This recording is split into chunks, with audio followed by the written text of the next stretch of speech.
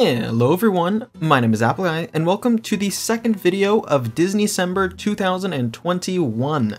This is the time when usually I'd be uploading the fourth and final video, but like I mentioned in the previous video, which will be linked in the playlist in the description if you did not see it, but I pushed back the, the Disneycember timeline about two weeks back, so instead of it being the entire month of December, it'll be the last two weeks and then the first two weeks of January. But that's just a little bit of a clerical thing. Anyway, it's the second video here, and today I'm here to talk about something very topical.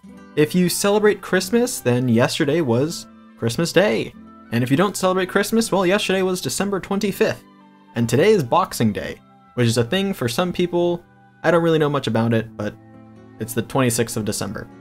Anyway, I figured I would take today to reflect on why I enjoy Disneyland at Christmas time so much.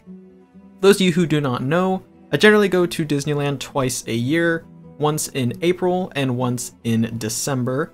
That allows me to see a very different side of Disneyland at the two times that I go. In April, there is nothing special going on, there's no holiday, there is no special rush of any kind, it is just a pretty normal time to go to Disneyland, so I see the park in its normal, in, in quotes, atmosphere, and then in December I get to see it all dolled up for the holiday season. Now that's exactly what we're going to get into here, a little bit of the differences, some of the things you can expect going in during the holiday season, and just why I enjoy it so much.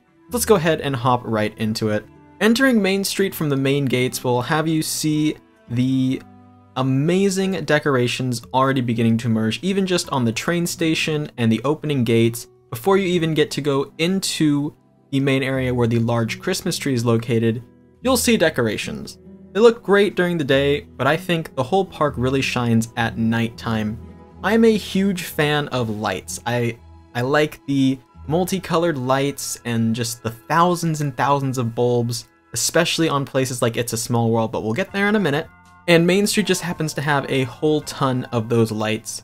They're really quite breathtaking, and something I continuously said while I was taking video of my trip was, gosh, I really wish cameras were able to capture the majesty of all these lights.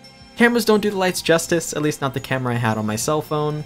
So take whatever you're seeing with a grain of salt and amp the pretty factor up like tenfold. It's a really breathtaking scene, especially if you haven't seen it in a while like I had. It had been about a year and a half, maybe two years since I was last in Disneyland. There's a little bit of a side tangent. I was in Disneyland on March 16th, I believe, of 2020 uh, for my birthday, and then everything kind of stopped. So yeah, getting to see all that stuff again all lit up was absolutely amazing, as well as having the light Christmas music in the background. Normally on Main Street they play a whole variety of music, but in the holiday season it is specifically holiday music, which is what I actually use in the background of my previous video, but it's just a very nice way to set the mood for what's going on. Of course, as you continue down Main Street with the large Christmas tree behind you, which for some reason is just like the bottom layer of it is off, like every other day. I assume the tree is assembled like a stack of tires where you have a big tire and then a smaller tire and then a smaller tire until it gets up to a cone shape. And that bottom tire, quote unquote, is always unlit, like every other day. It's really, really weird. And usually you would never see something like that going on, but that one's usually off. When it's on, it's a very nice scene though. Anyways, you continue down towards the castle, you will see the brilliant lights on that as well. Sleeping Beauty Castle gets a nice little improvement during the holiday season with all the lights and the snow on the facade. It is just one way to sort of combine that whole area together into the mood. Some of the lands all around the hub have their own little spin, a little way to put on the Christmas spirit. Off the top of my head, I don't think Tomorrowland does anything, and Fantasyland is actually rather barren as well when it comes to decorations, unless you look past the main area of Fantasyland towards the It's a Small World attraction, because holy buckets, does that ride get an improvement. There is not a surface on that ride's facade that does not have a bulb. They are absolutely breathtaking, and being able to see them all is stunning. One little game I like to play is I like to see if I can see any bulbs that are broken or burnt out as I'm going into the It's a Small World ride, just because you don't think that would be there. But then again, you'd think the Christmas tree would be fully lit as well. But I digress, this isn't for complaints, this is for admiration. I do really, really enjoy the aesthetic that we get to see on the It's a Small World attraction. The attraction itself gets a retheming. It is the It's a Small World holiday special where instead of singing exclusively the It's a Small World song, the children of the world will also sing some Christmas carols, and it's a way to sort of uh, showcase the different winter holidays that are celebrated. I do believe Santa Claus makes an appearance as a shadow in that ride. He's in, in a window. I think the It's a Small World ride is a little bit refreshing to see in the holiday attire. I don't think that it's necessarily better or worse than the normal It's a Small World ride, just something different, and it can be nice to take a peek at. The other ride that gets a big change during the holiday season is the Haunted Mansion. It goes to the Nightmare Before Christmas theme, which is something I'm actually not the biggest fan of. I believe I mentioned this in the very first Disneycember video, maybe it was the second, uh, back in 2019, but I really prefer the normal Haunted Mansion.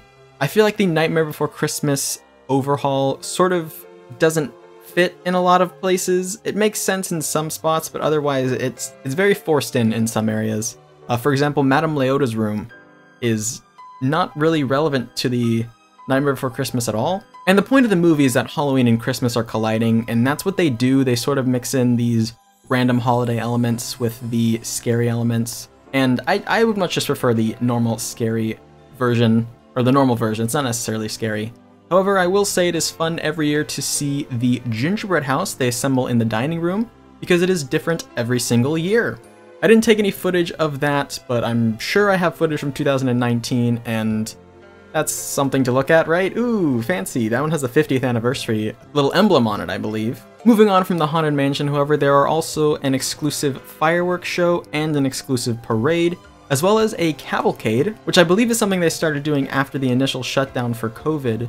It's just sort of like a small little speedrun parade you get to see a couple times a day. We were actually able to catch it uh, on our way into the park one time, and it's very festive. It's got some characters walking around, some characters you wouldn't normally see, that are in parades but not normally around to take pictures with, for example.